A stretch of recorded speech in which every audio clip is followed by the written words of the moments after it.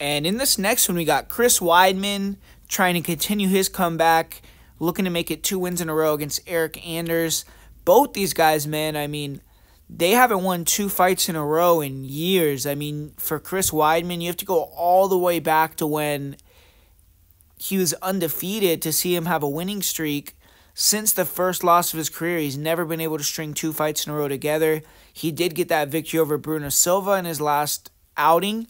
And for Eryk Anders, I think it's been since like 2018 or something since he's won two fights in a row.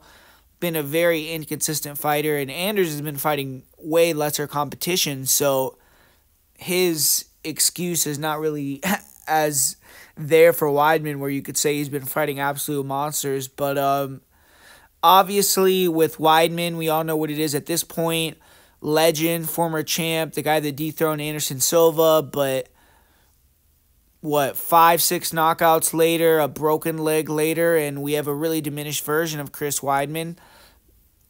Having said that, he still was able to go out there, look pretty decent against Bruno Silva, and even though the fight ended with him getting an eye poke knockout, it, he was on his way to victory in that one, regardless. Um, Eryk Anders, a guy that came into the UFC kind of more of a striker that was a knockout artist, and now more recently in his career, he's turned into more of a wrestler, grappler, a guy that likes to mix it up and dirty box and, you know, be really, uh, like in the clinch a lot during his fights. So we'll see if that's advantageous for him. I tend to believe it isn't. Um, Chris Weidman, Southpaw, his footwork and movement is still not terrible. I mean, I still think if these guys had a kickboxing match, I, I would favor Chris Weidman. I mean, Anders is a big, strong guy. Maybe obviously he could land something big and knock him out, but Weidman is faster. He moves better on the feet. He's going to be longer in terms of the reach. He has better boxing to me. Um, puts the combos together a little bit more. And Anders really slow. I mean, I think Anders really definitely relies more on having to grab you to find his openings with like short uppercuts. He's good at bringing knees up the middle.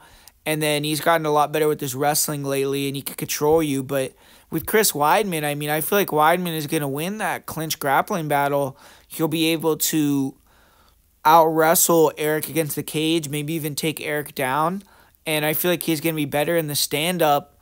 Cardio wise, Weidman always comes in great shape. Anders, I could see him slowing down, and I just don't know how invested Anders is, man. I mean, I know the guy went to fight ready for a period in his career, and that's when I think he was looking good. Um, and now he's gone back home. He has a family. You could see him doing trips in the middle of this training camp where he went to Spain and things like that. And I just think that maybe Weidman is a a little bit more invested in, in keeping going his career a little longer. Um, Anders, you know, he, he kind of just creeped by uh, Jamie Pickett, who was retiring in his last fight. So that wasn't a good look for me. And uh, so I'm going to go with Weidman in this one, man. I think Chris Weidman can get this job done and probably win a decision in this fight.